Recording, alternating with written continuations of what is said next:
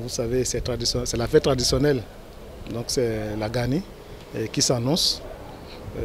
Quand même nous sommes en période de pandémie, il y a la faveur des populations. Le gouvernement a intérêt la manifestation grandiose, mais le gouvernement a autorisé les rituels. Et vous allez constater effectivement, c'est pour l'étranger que Niki est en ébullition.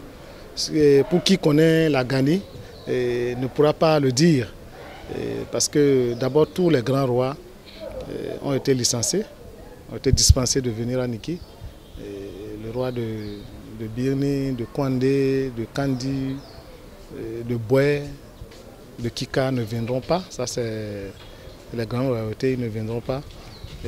C'est les rois telaires autour de Niki qui vont accompagner le roi pour les rituels.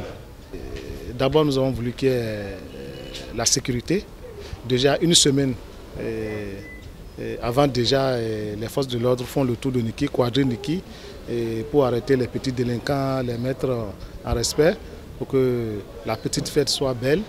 Au niveau des enjeux de santé, les gens s'activent déjà pour faire respecter les mesures barrières avec les gels. Déjà, tout est fait prêt pour qu'à la cour royale, tout le monde puisse avoir le minimum de matériel pour préserver sa santé, étant donné que la plupart des dignitaires sont des, personnes du troisième âge.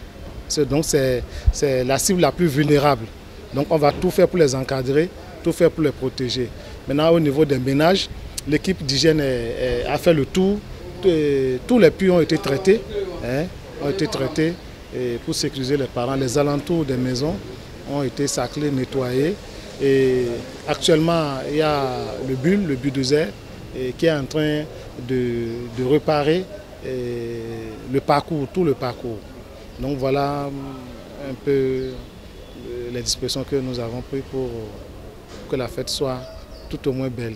C'est pour demander la clémence du peuple bâtonneau et dire que le gouvernement a voulu nous protéger.